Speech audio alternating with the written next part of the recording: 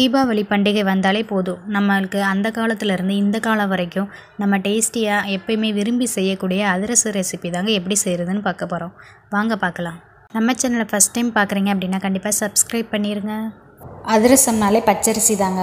ஒரு கப்பு அரிசிக்கு பதினஞ்சு அதிரசம் வருவேன் இன்றைக்கி நான் ரெண்டு கப்பு பச்சரிசி எடுத்திருக்கேன். தண்ணி ஊற்றி நல்லா ஒரு தடவை அலசி எடுத்துக்கோங்க. அலசினதுக்கப்புறமா அரிசி மூழ்கிற அளவுக்கு தண்ணியை ஊற்றிட்டு ஒரு மணி நேரம் ஊற வச்சுருங்க. நேரம் ஊறினதுக்கப்புறமா தண்ணியை நல்லா வடிகட்டிட்டு ஒரு துணியை விரித்து அது மேலே இந்த அரிசியை இருபது நிமிஷம் காய வைக்கணும்.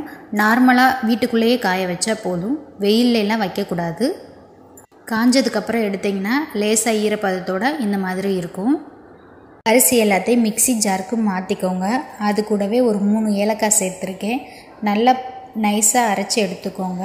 இந்த மாதிரி நைஸாக அரைச்சி எடுத்ததுக்கப்புறமா ஒரு ஜல்லடையை எடுத்து அரைச்ச மாவு எல்லாத்தையும் கொட்டி நல்லா சளிச்சு எடுத்துக்கோங்க. அப்போ தான் அதிரசம் பிரியாமல் நல்லா வரும்.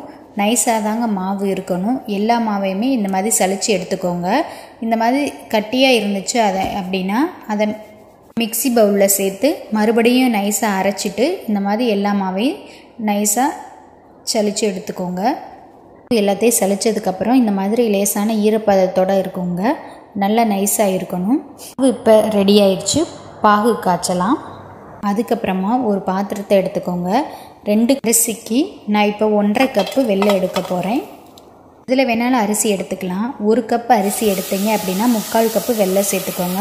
இப்போ நம்ம ரெண்டு கப் அரிசினால் ஒன்றரை கப் வெள்ளம் எடுத்திருக்கேங்க. கொஞ்சமாக தண்ணி ஊற்றி ஒரு ஏழுலேருந்து பத்து நிமிஷம் நல்லா கொதிக்க விடணும். இந்த மாதிரி கொதிச்சு வரணும். இந்த மாதிரி கொதிச்சு வந்ததுக்கப்புறம் சக்கரை பாகு கரெக்டாக இருக்கான்னு பார்க்குறதுக்காக ஒரு கிண்ணத்தில் தண்ணி ஊற்றிக்கோங்க ஒரு செப்பை எடுத்து அந்த சக்கரை பாகு ஊற்றுனீங்க அப்படின்னா அந்த சக்கரை பாகு வந்து தண்ணியில் கரையாது. அந்த சக்கரை பாகு கையில் எடுத்து பிடிச்சிங்க அப்படின்னா உருண்டை உருட்டை வரணும். அப்படி வந்துருச்சு அப்படின்னா அதாங்க சரியான பதம்.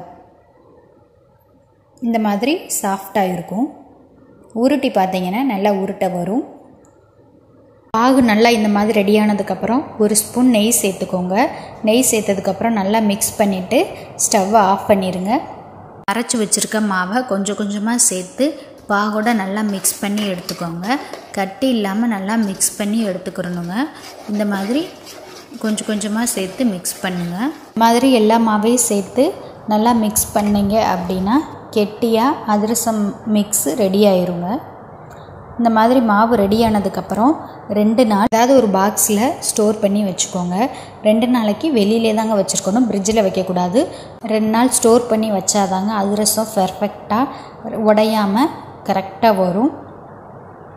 எந்த பாக்ஸில் நீங்கள் ஸ்டோர் பண்ணணும்னு நினைக்கிறீங்களோ அந்த பாக்ஸ் எடுத்து அதை நம்ம மிக்ஸ் பண்ணி வச்சுருக்க மாவு எல்லாத்தையும் சேர்த்து வச்சுக்கோங்க. மேல் மாவு காயாமல் இருக்கிறதுக்காக மேலாப்பில் ஒரு ஸ்பூன் எண்ணெய் தடவிட்டேன். இதை வந்து வெளியில் நார்மலாக ஃப்ரிட்ஜில் வைக்கக்கூடாது. வெளியில் வச்சாலே போதும். ரெண்டு நாள். அப்புறம் தாங்க கண்டிப்பாக அதிரசம் சுடணும். அப்போ தான் மாவு கரெக்டான பதத்தில் இருக்கும். அதிரசமும் உடையாமல் பெர்ஃபெக்டாக வரும். இப்போ ரெண்டு நாள் ஆயிடுச்சு அதுக்கப்புறம் அதிரசம் செய்ய போகிறோம் இந்த மாதிரி குட்டி குட்டி பால் மாதிரி உருட்டி எடுத்து வச்சுக்கோங்க. ஒரு பேப்பர் இருந்துச்சு அப்படின்னா அந்த பேப்பரில் வச்சு செய்யலாம். அப்படி இல்லைன்னா வாழையில் இருந்துச்சுன்னா வாழையில் எடுத்துக்கோங்க. இப்போ நான் பிளாஸ்டிக் பேப்பர் எடுத்திருக்கேன். கொஞ்சமாக எண்ணெய் தடவிட்டு நம்ம உருட்டி வச்சு பால் எடுத்து இந்த மாதிரி கொஞ்சமாக தட்டிக்கோங்க. ரொம்ப லேசாகவும் இல்லாமல் கனமாகவும் இல்லாமல் மீடியம் சைஸ் தட்டி எடுத்துகிட்டு நடுவில் சின்னதாக இந்த ஓட்டை மாதிரி போட்டுக்கோங்க எண்ணெய் நல்லா காயணுங்க. பொரிக்கிறதுக்கு தேவையான எண்ணெய் எடுத்துக்கோங்க. நல்லா காய வச்சதுக்கப்புறமா நம்ம தட்டி வச்சுருக்க அதிரசத்தை சேர்த்துக்கலாங்க. அதிரசம் சேர்க்குறதுக்கு முன்னாடி அடுப்பை குறைச்சி வச்சுருங்க. அதிரசம் வேகிறதுக்கு ஒரு நிமிஷம் தாங்க ஆகும். அதிரசம் போட்டோன்னே இந்த மாதிரி மேலே உப்பி வரும். உப்பி வந்ததுக்கப்புறம் பின்னாடி திருப்பி வேக வச்சுருங்க. ரெண்டு பக்கமும் இந்த மாதிரி ப்ரௌன் கலரில் ஒரு நிமிஷத்தில் வெந்து வந்துடும் அதுக்கப்புறமா எடுத்துடலாம். நம்ம டேஸ்டியான அதிரசம் ரெடி ஆயிடுச்சுங்க. இதே மாதிரி ஒன்று ஒன்றா போட்டு பொரித்து எடுத்துக்கலாம். மிச்சம் இருக்க மாவு எல்லாத்தையும் தட்டி ஒன்று ஒன்றா பொரித்து எடுத்துக்கலாம். ஃபஸ்ட் டைம் செய்கிறீங்கன்னா ஒன்று ஒன்றாவே பொறிச்சு எடுங்க. ஒரு நிமிஷம் தான் ஆகும் ஒரு அதிரசம் வேகிறதுக்கு. உங்களுக்கு இந்த வீடியோ பிடிச்சிருந்துச்சு அப்படின்னா கண்டிப்பாக லைக் பண்ணுங்கள் ஃப்ரெண்ட்ஸ் நிறைய செஞ்சீங்க அப்படின்னா ஒரு வாரத்துலேருந்து பத்து நாளை வரைக்கும் வச்சு சாப்பிட்லாம். நார்மலாக வெளியிலேயே ஒரு பாக்ஸில் ஸ்டோர் பண்ணி வச்சு சாப்பிடுங்க. ஃப்ரிட்ஜிலலாம் வைக்கணும்னு அவசியம் இல்லை. கெட்டு போகாது. குழந்தைகள்லேருந்து பெரியவர்கள் வரைக்குமே இந்த மாதிரி ஹெல்த்தியாக நீங்களும் வீட்டிலே ட்ரை பண்ணுங்கள் ஃப்ரெண்ட்ஸ் சொன்ன மாதிரி ட்ரை பண்ணிங்கன்னா கண்டிப்பாக பெர்ஃபெக்டாக இந்த மாதிரி வருங்க. நீங்களும் ட்ரை பண்ணி பாருங்கள் ஃப்ரெண்ட்ஸ் உங்களோட எக்ஸ்பீரியன்ஸை கமெண்ட் பாக்ஸில் கமெண்ட் பண்ணுங்கள் அடுத்த ரெசிபி எல்லோருக்கும் ரொம்ப பிடிச்ச பால் அல்வா தாங்க. வாங்க எப்படி செய்கிறதுன்னு பார்க்கலாம். அல்வா செய்கிறதுக்கு இப்போ ஒரு லிட்ரு பால் எடுத்திருக்கேன். ஒரு பாத்திரத்தில் ஒரு லிட்ரு ஆடை இருக்க பால் எடுத்துக்கோங்க. ஆடை இல்லாத பால் எடுக்காதீங்க. ஆடை இருக்க பால் எடுத்தால் தான் ரொம்பவே டேஸ்ட்டாக இருக்கும். ஒரு லிட்டர் பால் முந்நூறு முந்நூற்றம்பது எம்எல் வர வரைக்கும் நல்லா சுண்டை காய்ச்சி எடுத்துக்கிறணும். மூணு கப்பு பால் எடுத்தீங்கன்னா அது ஒரு கப்பு ஆகிற வரைக்கும் இந்த மாதிரி நல்லா சுண்டை காய்ச்சி எடுத்துக்கோங்க. பால் நல்லா வத்தி வந்ததுக்கப்புறம் ஐம்பது கிராம்லேருந்து எழுபத்தஞ்சு கிராம் வரைக்கும் ப்ரௌன் சுகர் சேர்த்துக்கலாம். ஒரு லிட்டர் பாலுக்கு. ப்ரௌன் சுகர் இல்லை அப்படின்னா நார்மலாக நீங்கள் வீட்டில் யூஸ் பண்ணுற ஜீனியே சேர்த்துக்கலாம். ப்ரௌன் சுகர் சேர்த்திங்கன்னா அந்த பால் அல்வா கலரும் அந்த டேஸ்ட்டும் நல்ல ரொம்ப சூப்பராக வரும். ஸ்டவ்வை நல்லா லோ ஃப்ளேமில் வச்சுக்கோங்க. நல்லா ப்ரௌன் சுகர் கரைஞ்சதுக்கு அப்புறமா ஒரு லிட்டர் பாலுக்கு ரெண்டுலேருந்து மூணு ஸ்பூன் வரைக்கும் கொஞ்சமாக ரவை சேர்த்துக்கோங்க. ரவை சுகர் எல்லாமே பாலில் நல்லா மிக்ஸ் ஆகி நல்லா கரைஞ்சி வரட்டும். லோ ஃப்ளேமில் வச்சு நல்லா வேக விடுங்க.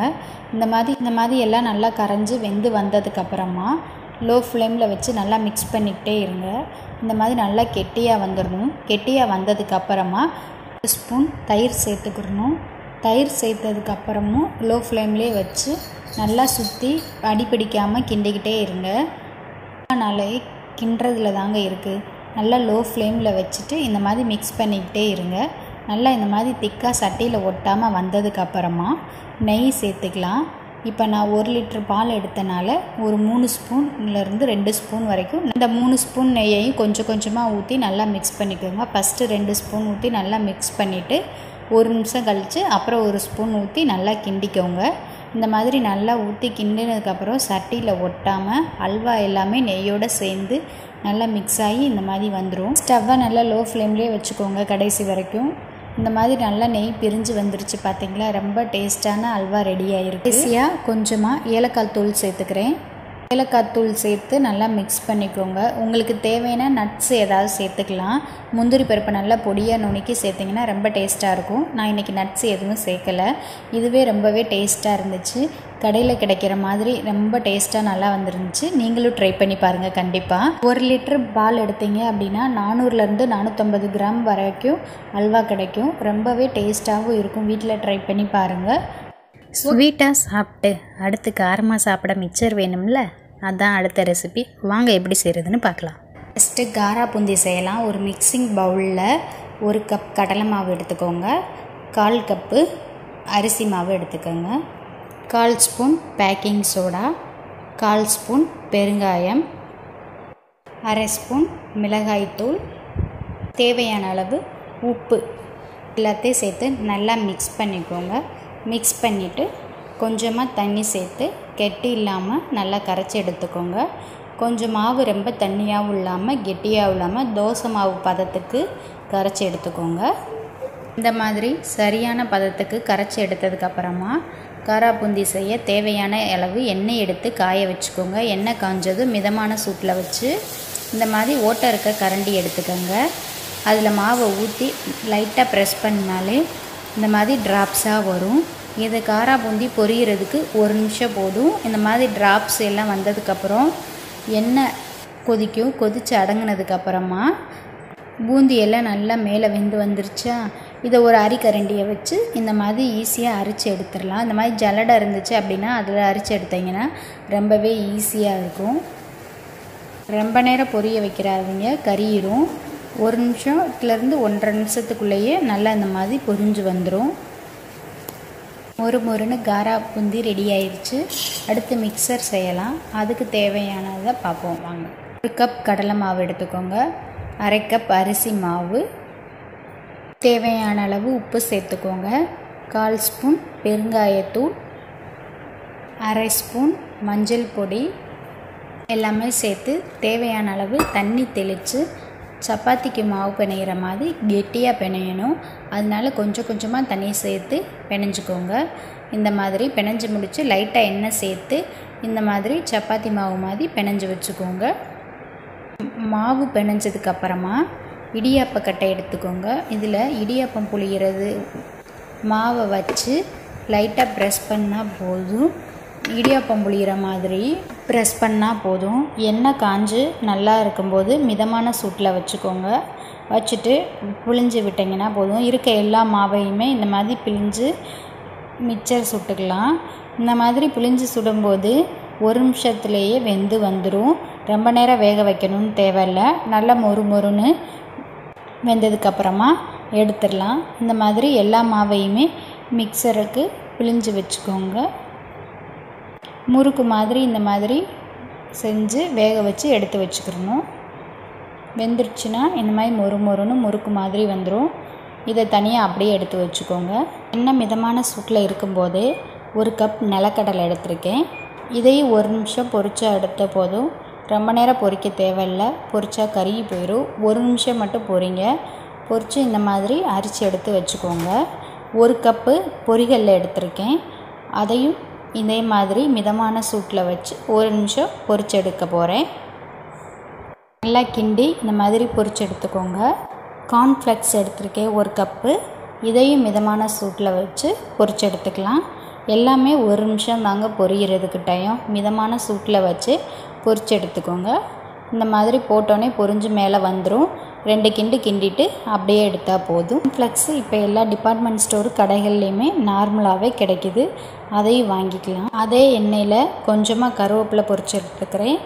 கருவேப்பிலையை போட்டு இந்த மாதிரி பொரிச்சு எடுத்துக்கோங்க. மொறு மொறுன்னு வர மாதிரி.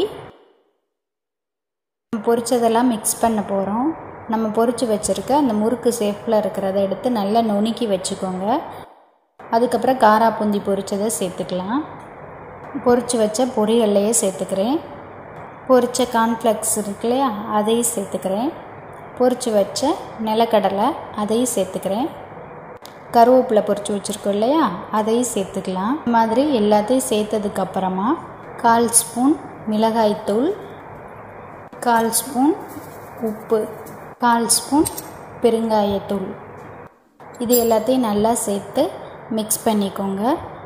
இப்போ நம்ம டேஸ்டியான மொறு மொறுன்னு மிக்சர் ரெடி ஆயிடுச்சு. ரொம்பவே டேஸ்ட்டாக இருந்துச்சுங்க. கடையில் வாங்குறத இது மாதிரி நம்ம சேனலில் சீனி பணியாரம் ரவா பணியாரம் சந்திரக்கலா ரவா லட்டு இந்த மாதிரி நான் நிறைய ஈஸியாக செய்யக்கூடிய ஸ்நாக்ஸ் ரெசிபியெல்லாம் இருக்குங்க. நீங்களும் ட்ரை பண்ணுங்கள் எது தீபாவளிக்கு நீங்கள் ட்ரை பண்ணாலும் அளவாக செஞ்சு சாப்பிடுங்க. சந்தோஷமாக இருங்க. அனைவருக்கும் தீபாவளி நல்வாழ்த்துக்கள்.